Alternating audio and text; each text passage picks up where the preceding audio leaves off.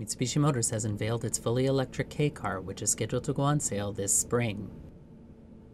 kei cars are a small class of vehicle that have a maximum length of 3.4 meters and a maximum engine size of 660 cc. Jointly developed by Mitsubishi Motors and Nissan Motor, the car doesn't emit CO2 gases and runs on power from the onboard batteries.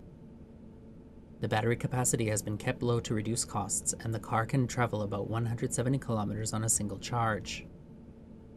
The selling price in Japan after subsidies is about 2 million yen or $17,500 US.